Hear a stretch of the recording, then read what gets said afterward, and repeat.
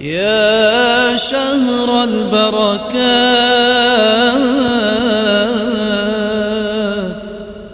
يا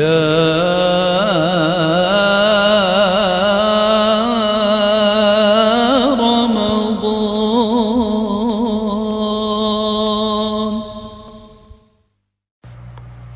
آئیے وضو کی سنتوں کے بارے میں جانتے ہیں۔ وضو کی سنتوں میں یہ چیزیں داخل ہیں۔ ایک پہلے نیت کرنا اور نیت کے لیے الفاظ کا ادا کرنا ضروری نہیں ہے، کیونکہ نیت کا مقام دل ہے۔ نمبر دو، بسم اللہ پڑھ کر شروع کرنا۔ نمبر تین، دونوں ہاتھ پہنچوں تک دھونا۔ نمبر چار، کلی کرنا۔ نمبر پانچ، مسواک کرنا۔ تو مسواک کا کرنا سنت میں داخل ہے۔ مسواک نہیں کیا تو بھی وضو ہو جائے گا۔ اسی طرح ناک میں پانی چڑھانا۔ اسی طرح داڑھی کا خلال کرنا کہ یہ آپ کی داڑھی ہے نا، اب اس کی جڑوں میں پانی نہیں پہنچتا، اگر اوپر سے صرف ہاتھ پھیر لیا تو انگلیوں کو پھیلا کے اس کے داڑھی کے اندر تک ڈال کے اس کو ہلکا سا ادھر رگڑ دینا۔ تاکہ وہ اندر بالکل جڑوں تک پانی پہنچ جائے۔ تو اس کو کہتے ہیں داڑھی کا خلال کرنا۔ اسی طرح سنتوں میں داخل ہے پورے سر کا مساح کرنا۔ تو فرائض میں ہے ایک چوتھائی یعنی ون فورتھ۔ اور سنتوں میں ہے پورا، پورے سر کا مساح کرنا۔ اسی طرح کانوں کا مساح کرنا۔ اس طرح وضو کرنا کہ پہلا عضو سوکھنے سے پہلے دوسرا عضو دھو لیا جائے۔ ترتیب قائم رکھنا۔ ہر عضو کو تین بار دھونا۔ تو یہ تمام چیزیں جو ہیں وہ وضو کی سنتوں میں داخل ہیں۔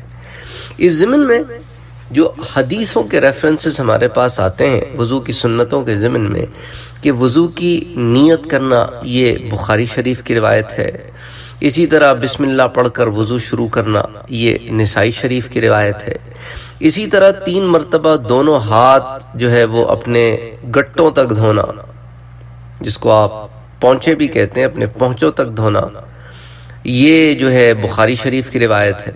اسی طرح مسواک کرنا، اور اگر مسواک نہ ہو تو انگلی سے دانتوں کو ملنا۔ تو یہ تو آپ کرتے ہی ہیں، جب بھی آپ منہ میں پانی لیتے ہیں تو آپ یہ انگلی لے کے دانتوں کو اچھی طریقے سے جو ملتے ہیں، یہ مسواک نہ ہونے کی صورت میں اگر کرنا ہے تو یہ یہ بھی بخاری شریف کی روایت ہے۔